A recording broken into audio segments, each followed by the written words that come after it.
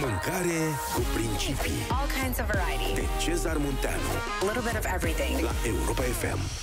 Mâncarea cu principii, alături de noi șef Cezar Munteanu într-o legătură direct pe Skype și pe pagina de Facebook Radio Europa FM. Salut Cezar, bine ai revenit pe drum cu prioritate în această zi specială, Joia Mare. Bine, bine v-am găsit. uh, Evident că sunteți la volan, unde să fiți în altă parte. Ascultați uh, ultimele indicații date de Radu. Corect. Am văzut, Cezar, că ai fost azi dimineață în uh, piață, în obor, chiar în hală, și suntem curioși să ne spui cam cu cât se vinde kilogramul de miel.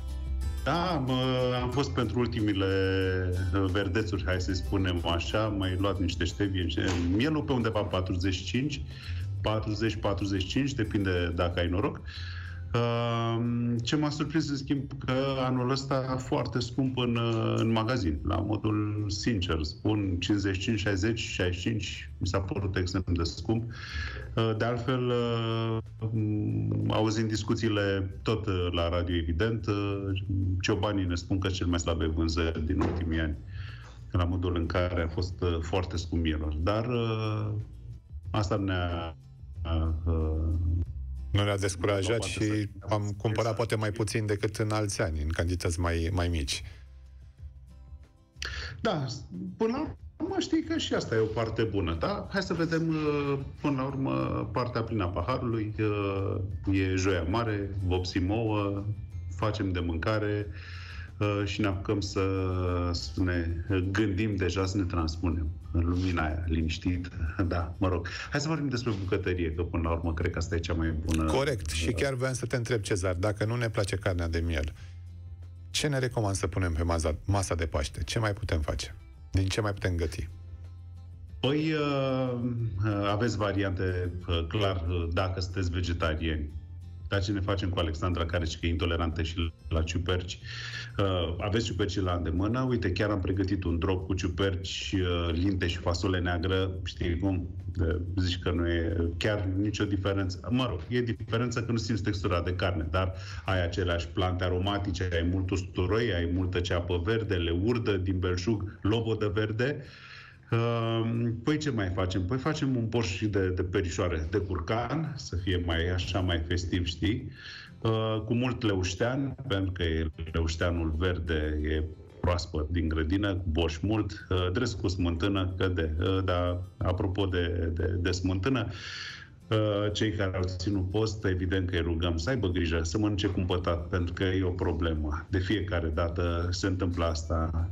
Uh, ai uh, ai uh, tendința, după ce ieși din post, să mănânci mult, bine să fie, da? Sau, uite, o variantă pe care am pregătit-o noi la șef atelier, obrăjori de vită, gătiți domol cu uh, prune afumate. Pentru că am luat prune afumate astăzi în piață uh, și uh, e foarte simplă rețeta. Uh, se pun la copt, mă rog, acoperiți cu prune, cu supă, se lasă până scad și totul e, e genial. Dar aveți și varianta uh, de a găti, nu știu, o ruladă din uh, purcel, dacă vreți și țineți musai să aveți purcel pe masă în loc de miel, cu toate că mielul l-aș, l-aș ține în top preferințe, mai ales că este Paștele. Și uh, pe pagina mea, chiar pe Trufood, am pus uh, astăzi o să pun uh, rulada de miel, pentru că am făcut o ruladă de miel ca în Dobrogea, umplută cu păstânac, morcov uh, și verdețuri. Iar de dulce așa, ca să ne iasă cozonacul cozonac și pasca pască, ne poți spune niște... uh, Ne poți da niște recomandări pentru un Deci gust? recomandarea mea este deci cozonacul e cozonac, pasca e pască. Încercăm să venim fără varianta de aluat. E suplimentar, nu înțeleg aluatul la, la pască.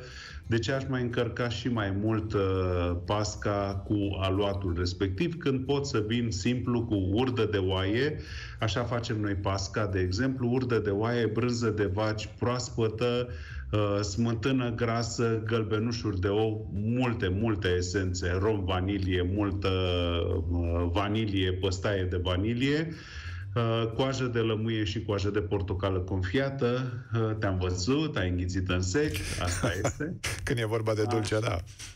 Amestecate toate frumos și puse, uite, noi punem pe un uh, blat de uh, biscuiți digestiv, de exemplu, uh, hai să-i spunem așa, să-ți dea un plus de textură și să-ți aducă fibra de care ai nevoie. Și mai facem o chestie bună. Noi înlocuim jumătate din zahăr, din cantitatea de zahăr, o înlocuim cu stevia rebaudiana, cu un dulcitor natural care nu are indice glicemic și nu-ți dă nici post gustul ăla amărui. Uh, asta, mă rog, uh, păcatele gâtului, știi, păcatele gurii, asta e, n-ai să faci. Ai calorii, uh, dar un vin roșu, un saperavi foarte bun sau un sira, numai, deci de neînlocuit. Deci, eu zic așa, cumpătare, dropul e drop pentru toată lumea, jumătate din cantitatea de, de organe, de exemplu, după ce le-ați fiert cu legume, jumătate le tocați în mașină ca să nu faceți bătături și jumătate le tăiați cu bulețe. Da? Cu ocazia asta uh, eliminați și plusul de făină pe care l-ați pune în, uh, în, uh, în drop. Aveți variantă drop de ciuperci, borșul de miel, gât, gât, pentru că asta trebuie să faci, nu să faci, să pui la fiert, pardon, pentru un plus de, de gust. Uh, Uh, gât de miel cu ceva uh, pulpă de miel, coaste fierte din belșug, după care legumele simplu tras la tigaie cu puțin, uh, foarte puțin ulei de, de struguri, puse în supa care fierbe, borșul, mult, mult leuștean și o mână abundentă de leurdă la, la borșul de miel.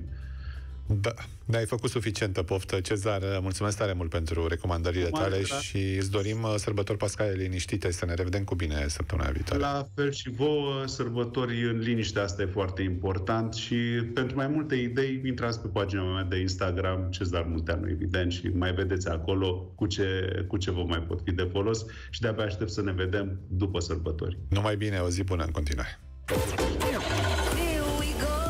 cu prioritate cu Radu Constantinescu la Europa FM.